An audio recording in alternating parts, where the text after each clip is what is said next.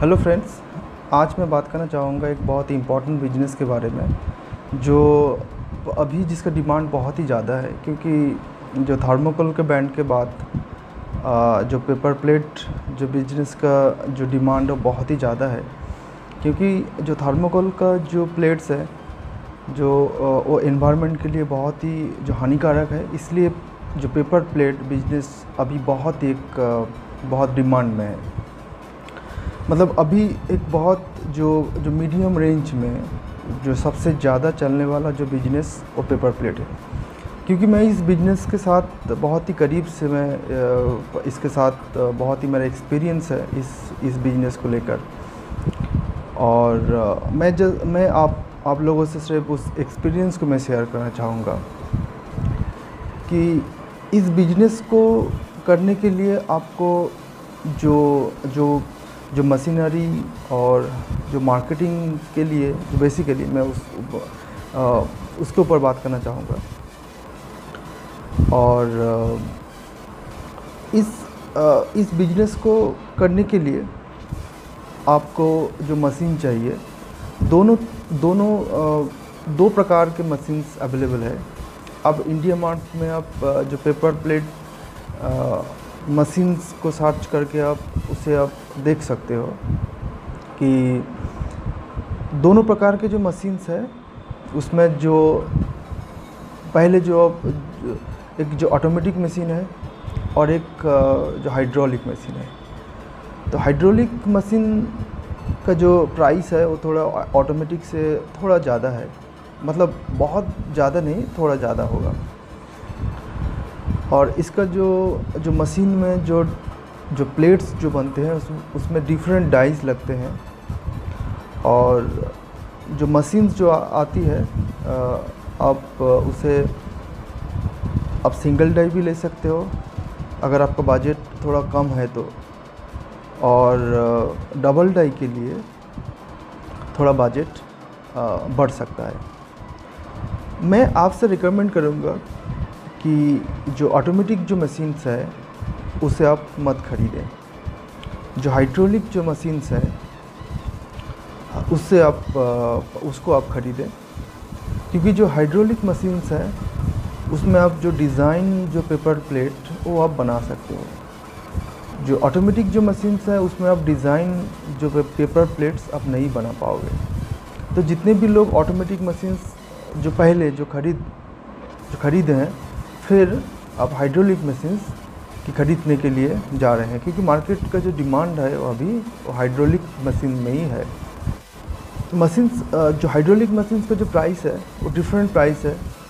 मतलब India mart से आप उसे चेक कर सकते हो और डबल डाइस के लिए नाइन्टी थाउज़ेंड करीबन वन लैख वन लैख के करीबन आता है डबल डाइस अगर आप सिंगल डाई की तरफ़ जाओगे तो कहीं ना कहीं आप सत्तर, पचहत्तर, हज़ार के आसपास आपको मशीन्स मिल जाएँगे। और डाइस के लिए जो डिफरेंट डाइस है मतलब आपको जो 12 इंच थोड़ा जो प्लेट जो जो प्लेट जो बड़ा प्लेट है, उसके लिए आपको 12 इंच जो डाई चाहिए।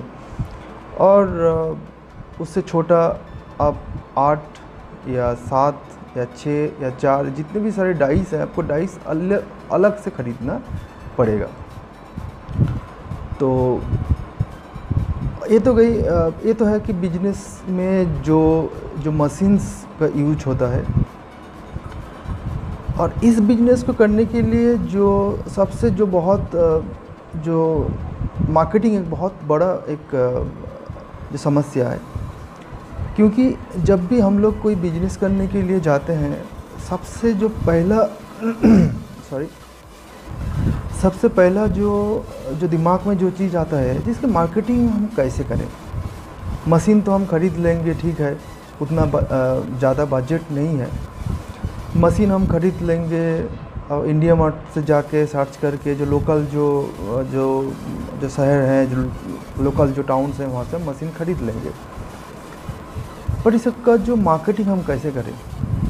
मार्केटिंग के लिए मैं रिकमेंड करूँगा कि आप जो जो रिटेलर को मत दीजिए, क्योंकि आपको जब बिज़नेस एक्सपांड करना है तो आपको रिटेलर से आपका काम नहीं चलेगा। अब आपके आसपास जितने भी मार्केट हैं, बड़ा या छोटा, अगर कोई बड़ा मार्केट हो तो कोई बड़ा शहर हो मैं बड़े शहर में तो बहुत आपको जो जो होलसेल मिल जाएगा। अगर कोई मीडियम मार्केट भी हो तो आप कहीं ना कहीं जो दो या तीन आपको मिल ही जाएगा। और मार्केट थोड़ा छोटा हो तो आपको एक तो मिल ही जाएगा। जो होलसेल दुकान के साथ आपको कांटेक्ट करना है। उसके बाद आप अब जब उसके साथ कांटेक्ट करना चाहोगे, जाओगे जब आपको पहले उतना इम्पोर्टेंस नहीं देगा। एक एक सच्चाई है क्योंकि वो कहीं से ना, कहीं से आपको दूसरे कोई, किसी से भी वो माल खरीद रहा है। और, आपको पहले जो अप्रोच करना है, आपको पहले जो मार्केट में अभी क्या प्राइस चल रहा है, उसके बारे में आपको इन्फॉर्मेशन लेना है। और उस इन्फॉर्मेशन के बाद आपको थोड़ा कम प्राइस में। मार्केट में जो प्राइस चल रहा है उस उसमें से आपको आपको थोड़ा सा कम प्राइस में उसे आपको प्रपोज प्रपोज़ल देना है।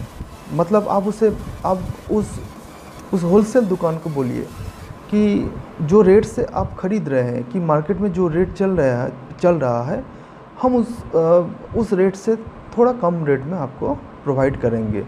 क्योंकि आप इसी तरीके से आप मार्केट में एंटर कर पाओगे। क्योंकि ये बिज़नेस कोई कोई ब्रांडेड नहीं है, कोई आप, सभी लोकल प्रोडक्ट्स हैं। तो आप ऐसा नहीं अप्रोच करोगे कि मेरा प्रोडक्ट्स बेटर है। सबका जो प्रोडक्ट्स है लगभग इसमें सेम ही रहता है। तो इसके लिए आपको थोड़ा, जो प्राइस में थोड़ा कम्प्रोमाइज़ आपको करना पड़ेगा। और अगर आप प्राइस कम्प्रोमाइज़ करोगे तो निश्चित तौर पे वो आपको एक चांस देगा। अगर आप चांस अगर आपको मिले, निश्चित तौर पे आपको चांस मिलेगा जब आप प्राइस में थोड़ा कम करके दोगे और निश्चित तौर पे आपको थोड़ा वो जो जो अपॉर्चुनिटी है और बोलेगा कि ठीक है, आप पहले एक थोड़ा बहुत जो आपका जो जो प्रोडक्ट्स है, मुझे प्रोडक्ट दिखाइए और मुझे दीजिए प्रोडक्ट्स तो उसके बाद आपको बहुत ऑनेस्टी के साथ मतलब बिज़नेस प्रॉपर आप प्रॉपर तरीके से आपको उसे मतलब आप जब भी आपको जो प्रोडक्ट्स देने के लिए बोलेगा, आप उसे लेट मत कीजिए। जब बोल, आप जो टाइम टू टाइम आप मेंटेन कीजिए। तो इसी तरीके से आप जो मार्केट में जो मार्केट में आप एंटर कर पाओगे। उसके बाद अगर मार्केट में एंटर करने के बाद आपके लिए बहुत इजी रहेगा। उस बिज़नेस को करने के लिए। और अगर आप इसी तरीके से आप कोई कोई छोटा मार्केट से एक एक होलसेल कस्टमर और बड़ा मार्केट से अगर दो कस्टमर आप, अगर आप कस्टमर आपको मिल जाता है तो आपका जो बिज़नेस एक्सपैंड के लिए बहुत ही इजी रहेगा। कोशिश यही कीजिए, कीजिएगा कि बिज़नेस को एक्सपैंड करना है। मतलब एक मशीन ख़रीदे, उसके बाद आप टारगेट आप रखिएगा कि एक से दो जो मशीन्स है, उसे हम ख़रीदें। और एक चीज़ चीज़ जो इस बिज़नेस में है, इस बिज़नेस में एक और एक मशीन आता है जो मैनुअल चलता है। मतलब मैनुअल जब भी कोई आप इस बिज़नेस को आप मैनुअल आप चलाओगे मतलब जो मशीन्स हैं, आपका जो इलेक्ट्रिक में चलने वाला मशीन्स हैं कुछ ना कुछ जो मशीन में जो दिक्कत और जो मशीन में जो कुछ भी खराबी और आपके पास अगर एक मशीन हो तो कुछ ना कुछ आपका जो जो प्रॉब्लम मशीन में आएगा ही आएगा। तो एक दो दिन तक हो सकता है मैक्सिमम कि आपका मशीन ख़राबी रहे, आप उसे जो प्रॉब्लम है उसे ठीक नहीं कर पाए। तो उसके साथ अगर आप एक मैनुअल मशीन जो मतलब मैक्सिमम जो थर्टी थाउज़ेंड थर्टी थाउज़ेंड के आसपास आता है उसे आप एक ख़रीदिए। क्योंकि जब भी आप, आपका जो इलेक्ट्रिक में चलने वाला जो सेमी ऑटोमेटिक जो या ऑटोमेटिक जो मशीन्स हैं, अगर वो अगर कुछ मशीन में अगर कुछ तकनीकी ख़राबी हो तो आप उस टाइम पे आप मैनुअल से आप काम चला सकते हो। हालाँकि जो मैनुअल में जो जो लेबर कॉस्ट आपको ज़्यादा आएगा, फिर भी आपको जो, आपका जो कस्टमर है आपका जो होलसेल कस्टमर है, उसे आप टाइम टू टाइम मेंटेन करने के लिए ये एक बहुत ही एक एक आपके पास आपके पास एक ऑप्शन रहेगा कि अगर आपका मशीन अगर ख़राब रहता है तो फिर भी आपके पास एक ऑप्शन रहता है कि आप एक मैनुअल मशीन आप थर्टी थाउज़ेंड का खरीद लीजिए। इस बिज़नेस को चलाने के लिए एक बहुत ही एक जो बेस्ट जो, जितने भी प्रोसीड्योर्स हैं, मैंने आप, आपके साथ शेयर किया।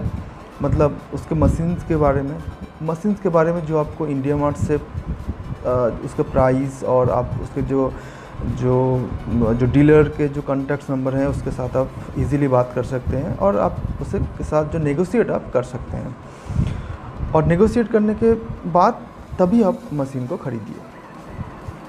और मशीन को ख़रीदते वक्त आप ऑटोमेटिक की तरफ़ मत जाइए।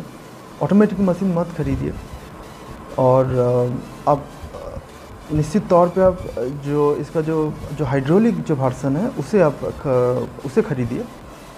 और उसके बाद मैंने आपको बताया कि जो मार्केटिंग एक्सपीरियंस है क्योंकि ये मेरा मेरा खुद का जो एक्सपीरियंस है मैं आप आपके साथ शेयर किया। जो रॉ मटेरियल्स के बारे में आप जो मशीन्स और रॉ मटेरियल्स आप जहाँ से मशीन खरीदोगे और आप आप जो रॉ मटेरियल्स है वहीं से भी आप ले सकते हो। और रॉ मटेरियल्स के लिए आप दूसरा भी आप जो पेपर प्रेस रॉ मटेरियल्स आप इंडिया मार्ट से भी सर्च कर सकते हो। तो एक आपके लिए बहुत ही इजी है क्योंकि इंडिया मार्ट निश्चित तौर पे बहुत ही एक इम्पोर्टेंस एक ऐप है बिज़नेस के लिए। तो ये ये मैं आपके लिए शेयर किया। अगर आप किसी भी तरीके का कोई आप कमेंट करना चाहते हो तो निश्चित तौर पे आप कमेंट कीजिए। और किसी भी तरीके का कोई अगर आपको दिक्कत हो या कुछ बिज़नेस करते वक्त कुछ प्रॉब्लम हो तो जो मार्केटिंग टिप्स मैं आपको दिया हूँ, वो केवल ओनली मेरा अपना एक्सपीरियंस है। तो एक्सपीरियंस के बेस में आपको मार्केटिंग का जो प्रोसीड्योर्स है, मैं आप, आपके साथ शेयर किया हूँ। तो अभी आप जो वीडियो देखिए, जिस तरीके से जो मशीन जो है, वो किस तरीके से काम करता है।